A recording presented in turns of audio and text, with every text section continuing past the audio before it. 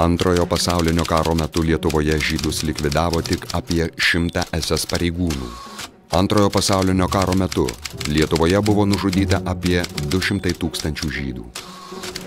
Mes turime dėti visas pastangas, kad vokiečiai būtų įtikinti, jog mes esam verti nepriklausomybės. Antra, mes turime kuo tik galime padėti vokiečių armijai. Ir trečia, visus vokiečių įsakymus šventai pildyti, o išpildžius jiems pranešti. Aš visus kviečiu prie nuoširdaus ir sąžiningo darbo, kurio reikalauja mūsų atstatoma tevinė, vardantos Lietuvos. Getas. Režisierius Gintaras Varnas. Premjera nacionalinėme Kauno dramos teatre rugsėjo 21, 22, 23 dienomis.